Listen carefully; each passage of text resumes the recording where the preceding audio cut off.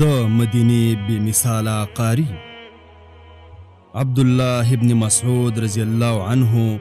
د مدینه بی مثال قاری رسول الله صلی الله علیه وسلم فرمایلی دی څوک چې غواړي چې قران مجید هغه شان تر تازه ولولي لکه څنګه چې نازل شوی وو نو هغه دې د ابن ام عبد یعنې عبدالله ابن مسعود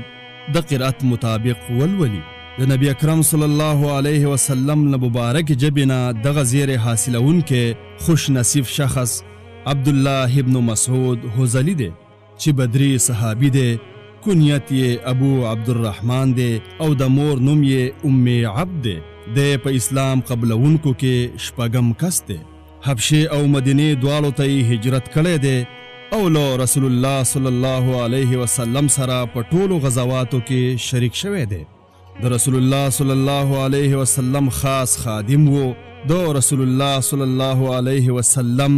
نږدې نه سوا حدیثونه ترې روایت شوي دي د قرآن مجید تقریبا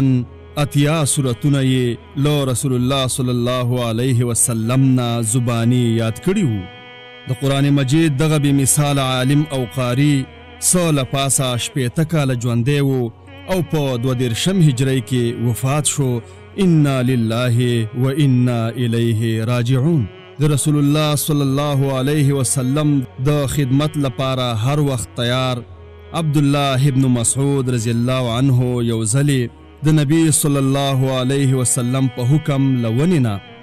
د مسواک د راغوڅولو لپاره ونې ته وختلو،